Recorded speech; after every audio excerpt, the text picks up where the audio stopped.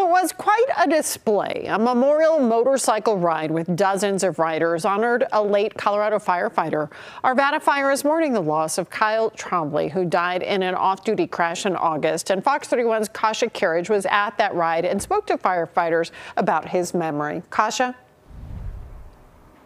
Yeah, Kim, now I was told riding motorcycles was one of Kyle's favorite things. So, what a better way to honor him and remember him than with a memorial of doing his favorite thing?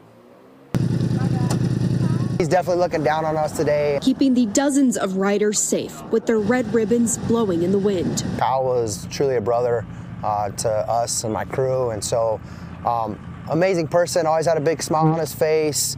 Um, hardworking individual. Kyle had been with Arvada Fire since 2011 and was an active member of the Arvada Fire Honor Guard, as well as on the EMS Fire and Safety team at the Bandimere Speedway pretty honored, pretty humbling to see this uh, group of people to come together to just always kind of keep Kyle in our forefront. His best friend, even riding Kyle's first motorcycle during the memorial ride. He'd call up and say, "Hey, what what do you guys need help with?" And he was always there. You could always count on Kyle. He's with us every day.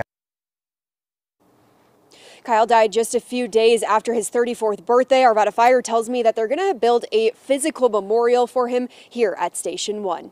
Reporting live in Arvada, Kasia Kerridge, Fox 31.